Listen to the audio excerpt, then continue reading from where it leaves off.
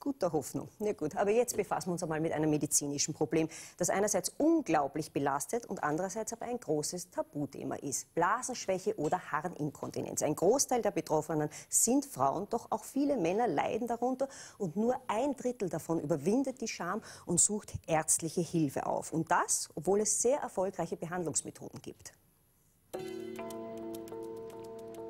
Lieselottes Ramek liebt es, sportlich aktiv zu sein.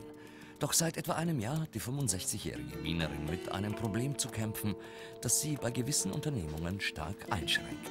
Sie hat ein Leiden, das sie mit vielen anderen Menschen teilt. Harninkontinenz.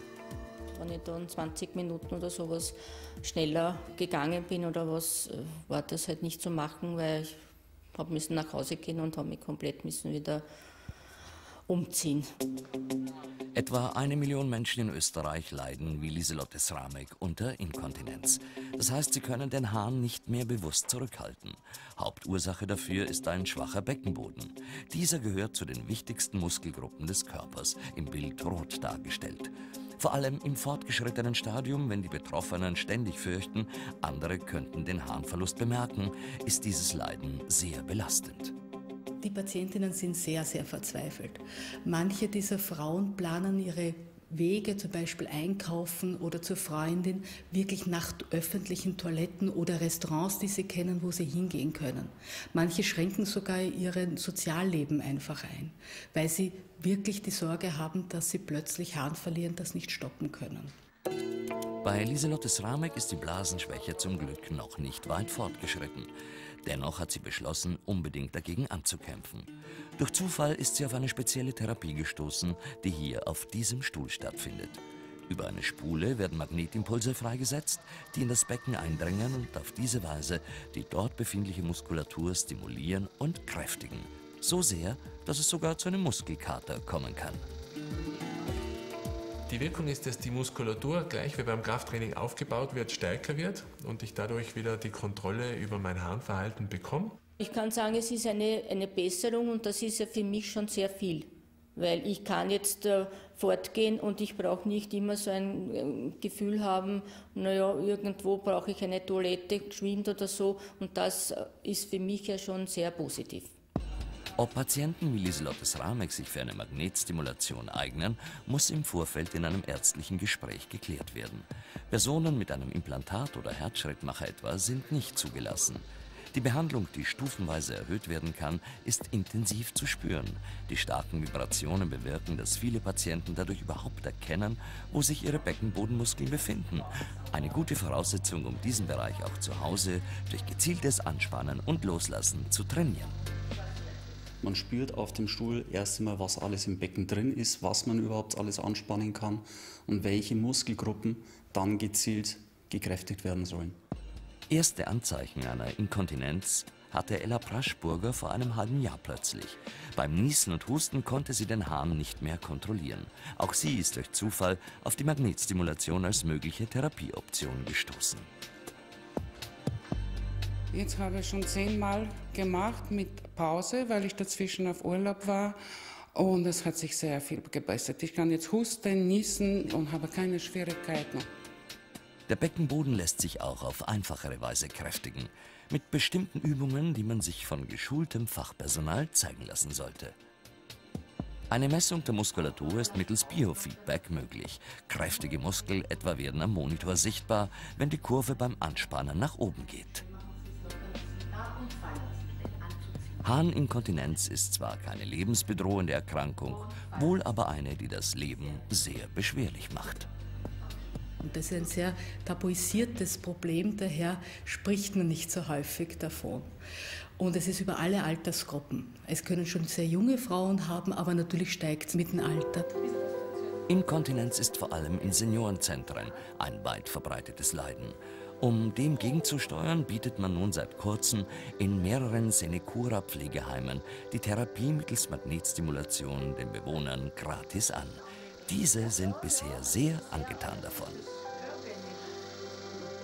Es ist sehr angenehm. Das ist direkt der Wohltat. Es ist eine Therapie, die sowohl den Pflegebedarf reduziert und natürlich für die Würde des Betroffenen eine sehr große Bereicherung darstellt.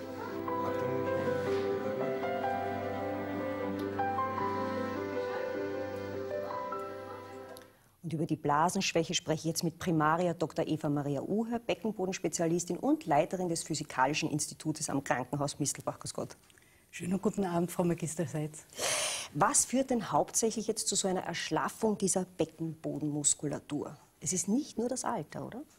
Äh, nein, sicher nicht nur das Alter. Sie müssen sich einfach vorstellen, dass die Beckenbodenmuskulatur das Becken nach unten hin abschließt. Es ist ein Muskel wie jeder andere, also wie die Skelettmuskulatur, wie Oberschenkelmuskulatur und im Training zugänglich. Nur wir sehen sie einfach nicht. Wir spüren sie, wir müssen sie einfach erspüren. Und das ist das große Problem, dass wir das richtig erspüren lernen. Jetzt die Frage, ob es über alle Altersgruppen geht. Ja, natürlich, weil überlegen Sie, Geburten, Schwangerschaften, Gewichtszunahme, Gewichtsabnahme, Rauchen, chronischer Husten, aber auch in der Menopause, das sind alles Faktoren, die die Beckenbodenmuskulatur schwächen können. Also es geht über alle, alle Altersgruppen bei den Frauen. Mhm. Und natürlich auch bei Sportlerinnen, das ist ein großes Tabuthema, weil auch Sportlerinnen bei Stop-and-Go-Sportarten, sei es Tennis, sei es Squash, Badminton, aber auch beim Laufen, äh, kann es zu dieser geschwächten Beckenbodenmuskulatur kommen, weil sie einfach nicht vorher trainiert haben genügend. Aha, also das heißt, ich muss spezifisch hinwirken auf diese Muskulatur, auf diese Beckenbodenmuskulatur. Ich muss sie erspüren ja? und dann kann ich sie trainieren. trainieren. Sehr okay. gezielt trainieren. Jetzt haben wir da schon im Beitrag einige Übungen gesehen. Wie oft muss man denn die machen? Wann, solche, wann greifen die? Ja, solche Übungen, das hat schon der Kegel gesagt, äh, sind circa 60 Mal pro Tag durchzuführen, wobei das ja während des Tages zwei, drei Übungen, wenn Sie sitzen, wenn Sie stehen, wenn Sie bei einer Ampel zum Beispiel warten im Auto, das häuft sich und Sie kommen auf diese Summe durchaus. Aber das ist so das Ziel, das man versucht zu erreichen. Mhm. Und abgesehen von diesen Übungen, was hilft sonst noch? Ähm, wie wir im Beitrag gesehen haben, eine Methode ist diese Magnetfeldstimulation, die ja zu einer Kontraktion führt der Beckenbodenmuskulatur und auch bei Dranginkontinenzen, das ist eine besondere Form, wo die Patienten stündlich aufs WC gehen müssen, sehr mhm. sinnvoll einzusetzen ist. Mhm. Und dieser Drang und die Schwäche der Beckenbodenmuskulatur treffen vor allem ältere Patienten. Das heißt, dort ist es zum Beispiel gut einsetzbar. Aber auch bei Patienten, die zum Beispiel nur die Beckenbodenmuskulatur einmal erfahren wollen. Andere Methoden sind vor allem jene, die das Sichtbarmachen des Beckenbodens ermöglichen, wie dieses Biofeedback, das in Echtzeit den Patientinnen zeigt, ob sie richtig die Beckenbodenmuskulatur anspannt und auch locker lassen kann und in Alltagssituationen ein, gut einsetzbar ist. Also zum Beispiel beim Sitzen und Aufstehen kann sie gut anspannen. Oder bei Sportlerinnen eben zu bei spezifischen Übungen, wenn sie sagen, ich verliere jetzt diesen Moment, wenn ich laufe zum Beispiel, Haaren kann man das nachstellen und sie lernt gezielt den Beckenboden wahrzunehmen und zu greifen. Kann man aber bei diesen Übungen irgendwas falsch machen? Leider ja. Ah. Wir, dadurch, dass wir ja nur die große Muskulatur gewohnt sind, also die Bauchmuskulatur, die Oberschenkelmuskulatur, die Po-Muskulatur, spannen wir meistens die an, weil für diese haben wir eine Wahrnehmung aber nicht für die Beckenbodenmuskulatur. Das heißt, wir müssen sicherstellen zuerst die Wahrnehmung des Beckenbodens, wie zum Beispiel mit dem Biofeedback. Mhm. Inwieweit sind jetzt auch Männer betroffen? In Österreich sind insgesamt über eine Million Menschen betroffen von unfreiwilligen Harnverlust und davon 20 Prozent Männer.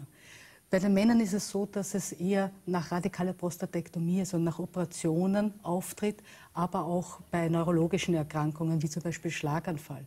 Also bei Männern ist es eher eine Erkrankung des höheren Alters, während bei Frauen es in jedem Alter vorkommen kann. Aha, und wann ist der letzte Zeitpunkt, wo ich jetzt ärztliche Hilfe aufsuchen sollte? Gibt es da so einen ah, Punkt? Der Wunsch und Ziel ist, dass man sehr früh mit dem Beckenbodentraining anfängt, weil man dann einfach gar nicht in die Situation kommt, Haare zu verlieren. Aber schon in dem Moment, wo der erste Tropfen abgeht oder man spürt, man muss häufiger ähm, aufs WC wäre es sehr günstig, zum Arzt des Vertrauens zu gehen und hier einfach nicht so schamvoll zu sein, sondern zu sagen, ich habe ein Problem, weil die Ärzte sie sehr rasch in zertifizierte Beckenbodenzentren weiterleiten können oder selber die Fachärzte dafür sind, die ihnen sehr gezielt und rasch und effizient helfen können. Herr Doktor, ich danke Ihnen sehr, dass Sie zu uns gekommen sind und über dieses ja. Tabuthema gesprochen haben. Und Sie sind so nett und bleiben noch bis zum Ende der Sendung, um Ihre Fragen zu beantworten. Zu erreichen ist die Frau Doktor unter der Telefonnummer 01 877 4448. Dankeschön. Danke Ihnen.